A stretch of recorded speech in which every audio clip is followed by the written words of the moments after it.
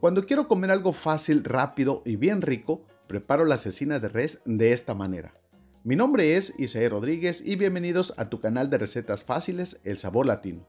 Hoy vamos a preparar una deliciosa cecina de res en una salsita de chile morita que está bien sabrosa. La combinación perfecta de sabores que harán de esta deliciosa receta tu platillo favorito. Comenzamos.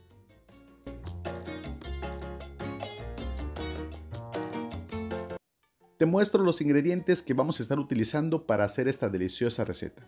Un cuarto de cebolla blanca, cebolla morada, la cebolla que tengas en tu casa. Una cucharada de sal, media cucharada de pimienta negra entera y dos clavitos de olor que le van a dar un sabor bien sabroso. Para la salsita de chile morita estaremos utilizando tres dientes de ajo grandecitos, tres chiles anchos que le van a dar mucho sabor y color a nuestra salsa. 4 chiles morita que le van a dar ese sabor bien picosito. Si no quieres que pique tanto, puedes agregarle solamente dos o un chile morita. 4 jitomates o tomates rojos en trocitos. 8 tomatillos verdes o tomate verde como también se le conoce. Y por supuesto estaremos utilizando un kilo y medio de cecina de res fresca. La cecina de res es un corte de carne bien delgadito que lo dejan marinar por varios días con pura sal así que todas las fibras de la carne están bien suavecitas. Y bueno, sin más ni menos, vámonos a la cocina. En un sartén a fuego medio bajo con 3 cucharadas de aceite vamos a poner todos los chiles secos, el chile ancho, los 4 chiles morita. También vamos a poner los 3 dientes de ajo. Los chiles solamente los vamos a freír por unos 30 a 40 segundos de cada lado. Cuando veas que ya están bien doraditos sin que se te quemen, los vamos a retirar. Los chiles están bien rápido, por eso la temperatura de la estufa tiene que estar a fuego muy bajito. Los dientes de ajo los vamos a seguir dorando un poquito más. Ahora le agregamos el tomate verde, el jitomate que ya lo tenemos cortado en trocitos.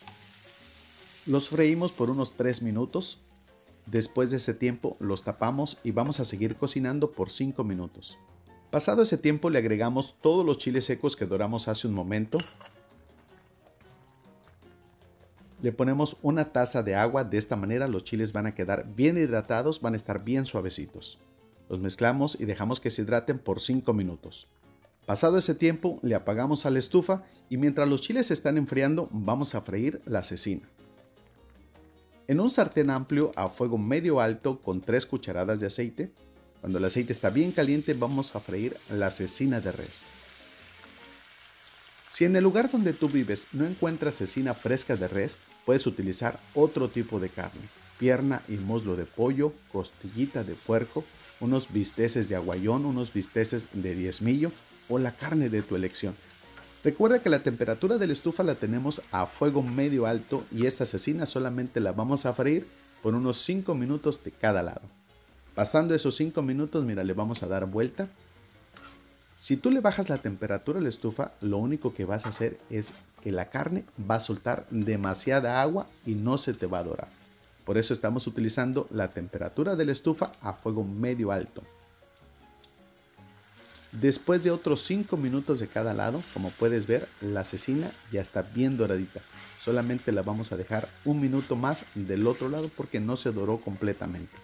La volteamos y dejamos que se dore por un minuto y mira nada más. El olor que tengo en la cocina es espectacularmente delicioso.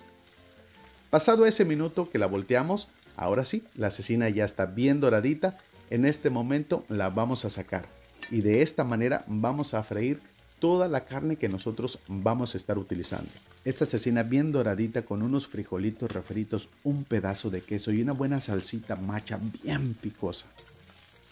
Ahora vamos a preparar el adobo de chile morita.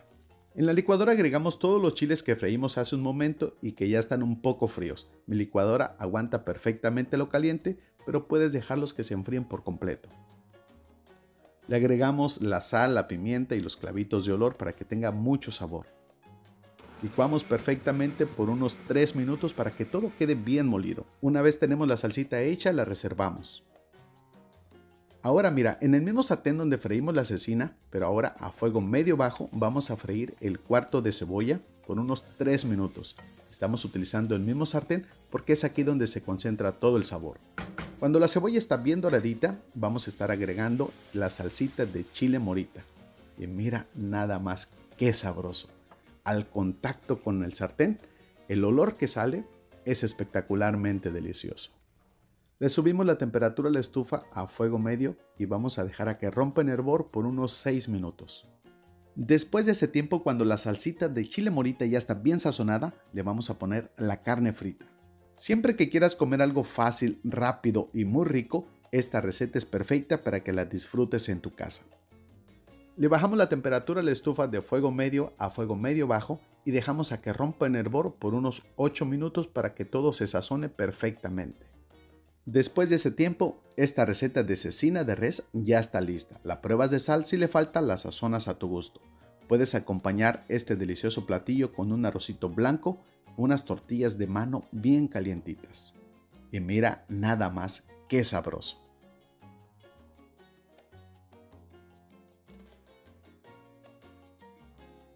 Si has llegado hasta aquí es porque la receta te ha gustado. Déjame saber en los comentarios desde dónde nos estás viendo y si en el lugar donde tú vives encuentras cecina fresca o no la hay para darte unas opciones de carne para que también puedas disfrutar de esta deliciosa receta desde la comodidad de tu casa.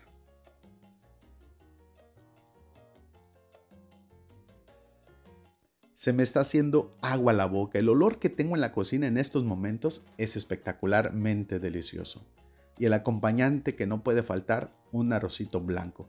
Siempre que prepares un adobo rojo de cualquier chile seco, el acompañante perfecto es el arrocito blanco.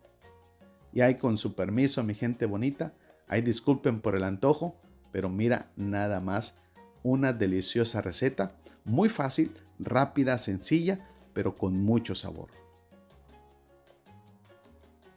Mmm, mmm. La carne está bien suavecita. El arroz combinado con el adobo rojo es perfectamente delicioso.